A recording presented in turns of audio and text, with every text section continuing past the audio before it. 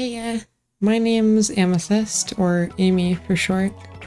It's not often that I sit down to make a more serious video, but with the channel growing as much as it has been lately, I feel it's better to do this sooner rather than later.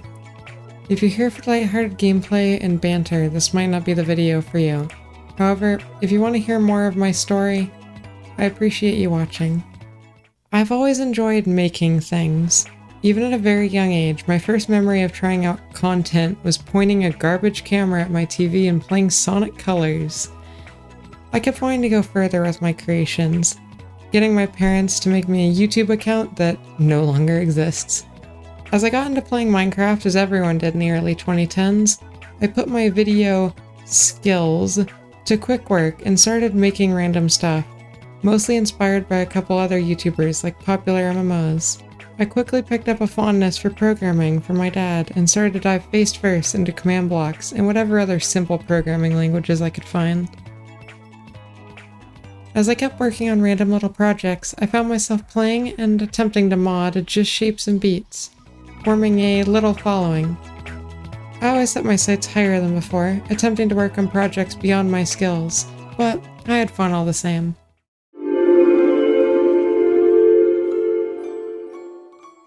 After a while, I set my sights on a new game, Super Mario Odyssey. After seeing Skelex's Superstar mode, I really wanted to try modding the game myself. So I got myself a modded Switch and started to work on trying to learn how to mod. This is where I finally started forming an identity and presence online, and I took a lot of pride in the work I was doing. However, as time passed, it became harder to enjoy the work I had made.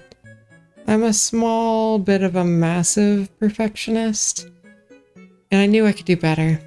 But regardless of the changes and improvements I made, it never felt quite like enough.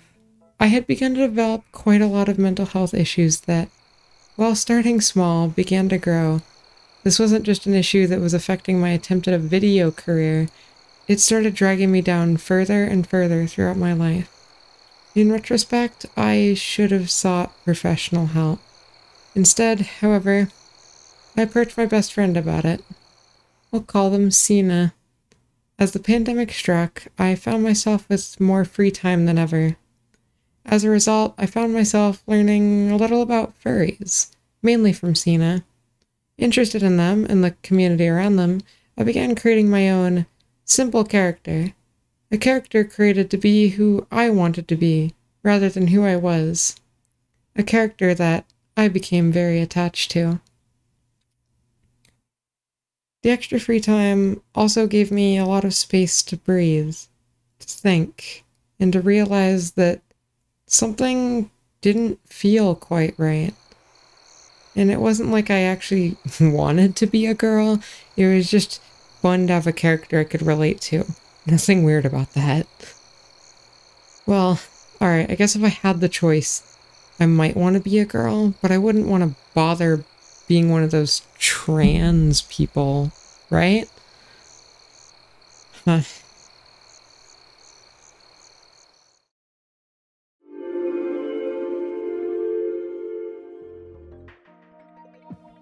I first went to Sina about being trans, asking to try out the name I gave to my character, Amethyst, plus a different set of pronouns. A pretty common practice for trying out a change in identity. It didn't take me long to realize that this identity felt right to me. I was really excited about what I had learned about myself, so I went straight to the internet. I changed my YouTube and socials to be Amethyst, properly adding trans and furry to my online identity. This was nice. Needless to say, just because I had figured this out for myself didn't mean that all my problems had gone away. When you consistently get hundreds of views a video, and then the moment you do anything you're actually passionate about, you're given dirt and a few less subscribers. I was lucky enough to get as good a start as I did. What if you just want to make cute furry things? Do you just keep forcing yourself to make content? That's what I've been doing. I kept finding myself in small, silly fights with Sina, Nothing too bad for a while, but they kept getting worse and worse. I still went to them and they'd come to me, but there were some cracks starting to form. Growing discontent with my voice, I moved away from voicing videos and just wrote subtitles to avoid having to listen to myself. I knew I had to start some sort of gender transition.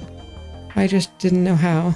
And Sina, on the other hand, had their own idea of how to get that ball rolling. One more quick fight later, Sina had gotten my family's phone number and was quick to tell them about my gender identity, along with some of my other mental health struggles. Now, I am extremely lucky. A lot of people sadly aren't able to say this, but I have a wonderful family and they were nothing but supportive of me. I was on course to starting my transition. Totally unprepared, but excited to see what would come from it. After a good while of bouncing between doctors, I managed to start hormone replacement therapy, or HRT for short. In the meantime, I had started training my voice. While I still had a long way to go, I had gotten myself progressing towards what I wanted. Me and Sina continued down a rough path, but I always came back. After all, I really care about them, and I'm not just gonna let my best friend struggle alone. Because they were alone. Alone? Sometimes even someone you trust the most doesn't have the heart to be honest. Someone that, for years, was my best friend. Best friend? It was hard to say, constantly strung along, promised more than a friendship. So many different things flying by your head, set aside because you care about them. I thought they needed me, and maybe they did. But a friendship should never be a responsibility. It should never be a therapist. I already had myself head over heels into this furry VTuber thing. That's what made me special, right? But the longer I did this, the more I realized I'd built myself on a brand, not just my online identity, but all of me. A compassionate tool to help you. But starting my transition helped me find worth in myself.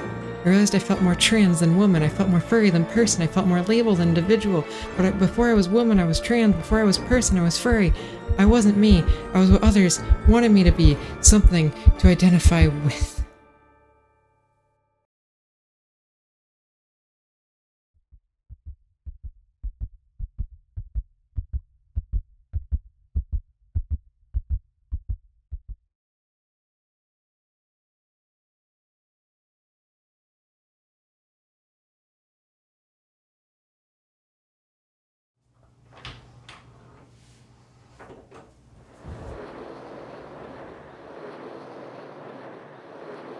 But it didn't have to be like this. I wasn't by myself anymore. I had found support from so many others, so many people like you. I may have built myself out of labels, but everyone wasn't going to turn away, right?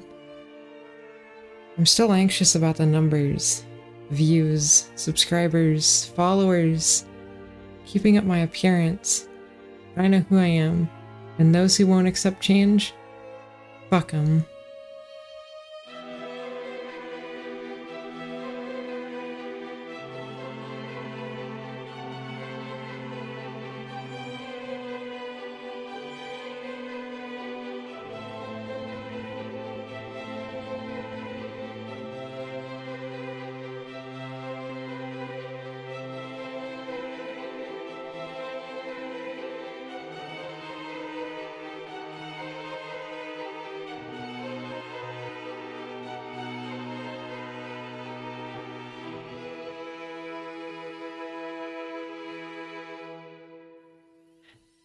Hey, uh, my name's Amethyst, or Amy for short. Um, ditching the script here. Thank you all for watching, seriously. This is a video that I could never have imagined making, even just last year. And the amount of you that have shown up and watched either every video I've put out or one random one and you happen to also watch this, it it means the world to me. Um we we've sorry, I'm a little nervous.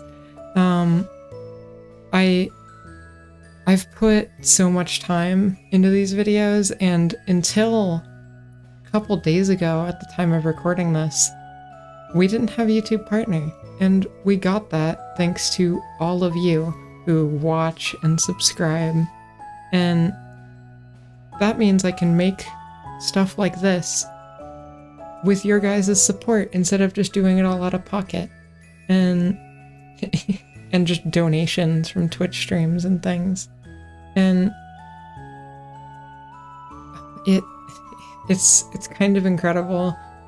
I've been doing YouTube for 8 years and to think that only in the last year we've gone from barely hitting a thousand to 13,000 of you, probably more by the time this video comes out, is mind blowing. And I I don't know when it's I don't know if we're peaking right now or if this is just the beginning, but I really I want this to be a new a new era for the channel. And to everyone who's watched this far,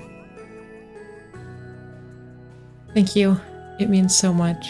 And I hope I get to keep making stuff with you. Thanks. Bye.